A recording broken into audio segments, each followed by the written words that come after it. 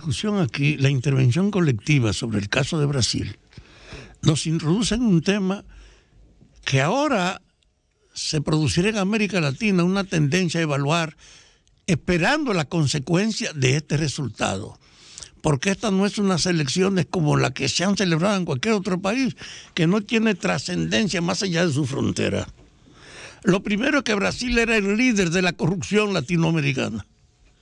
La Odebrecht, un invento, una empresa brasileira, comprometió a los gobiernos del continente a grado tal que Estados Unidos tuvo que intervenir con ellos para lograr, con un criterio selectivo, sacar algunos de los casos de la práctica de la corrupción.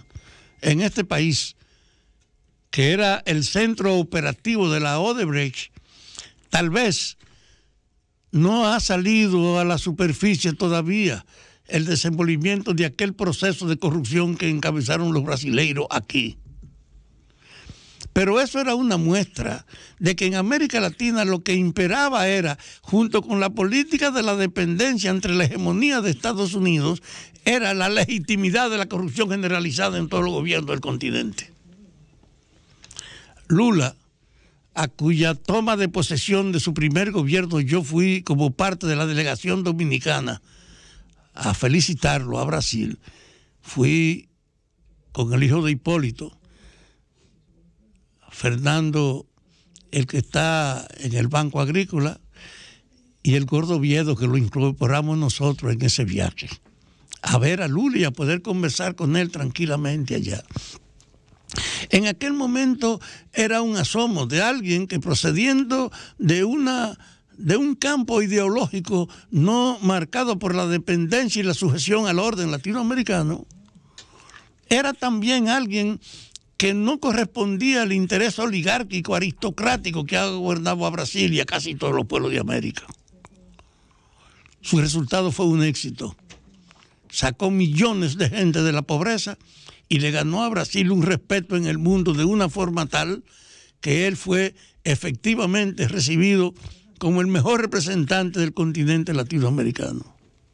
Ahora, después de haber soportado la prisión, y las acusaciones de corrupción sin fundamento.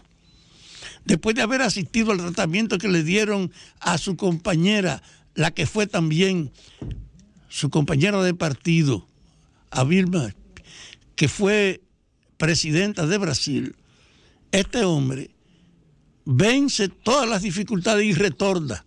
Pero miren lo que ocurre, una polarización en Brasil.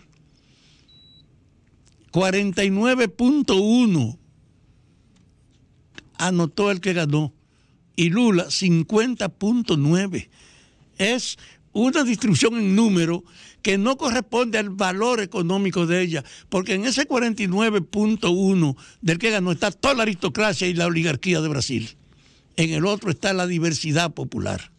Es decir, en Brasil va a haber un escenario de profunda agudización de las confrontaciones sociales pero que tiene una ambientación internacional que nadie había tenido, porque tener a Bolivia y a Chile a su lado, tener el encuentro de Colombia, que inmediatamente piensa en proyectar la necesidad de que se piense autónomamente en América Latina, que no hay antecedente, indica que Lula puede ser el eje central convirtiendo a Brasil en el espacio de la remodelación de la política del continente.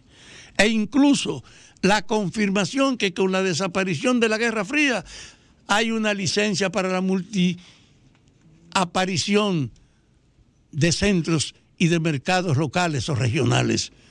Antes había un predominio absoluto con la división del mundo de este lado y de aquel ahora hay una emergencia múltiples centros políticos y económicos.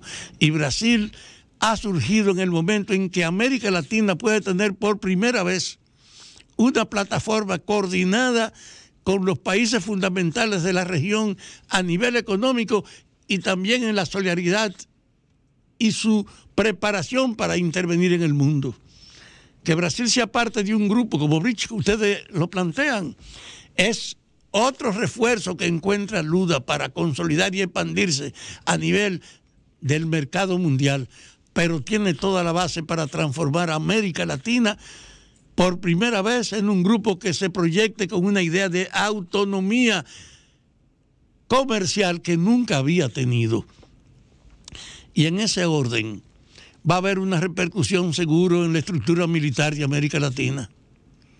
No es lo mismo que todos los gobiernos militares de América Latina tuviesen una asesoría y un control del ejército norteamericano, la mayoría de ellos, y que además respondieran a una política que viene de haber fomentado el apoyo norteamericano a toda la dictadura que había en América. Y ahora Lula viene con una idea de la autonomía y de la independencia de América Latina. Yo no tengo duda, pues, que la trascendencia de este acto solo la estamos tocando, pero que va a ser seguro un movimiento constante en expansión y además de gran trascendencia en los conflictos globales. ¿Usted se imagina lo que representa una alianza China y Brasil ahora en América Latina? China tenía relaciones con dos países de América y ahora lo tiene con 17 países de América. Y esta sociedad de Brasil, con el poder que tiene y siendo la cabeza de la población y de la economía de América Latina y una de las diez primeras sociedades del mundo en poder económico, le da a la polarización en desarrollo, a esa alianza China-brasileira previsible, junto con el respaldo que tiene ahora de Chile, de Bolivia, de Honduras y de Colombia potencialmente a la emergencia de una nueva realidad en el mundo que era casi impensable, porque América va a ser ahora una referencia central que nunca fue. Aquí no se sintió el efecto de la guerra, de ninguna de las guerras.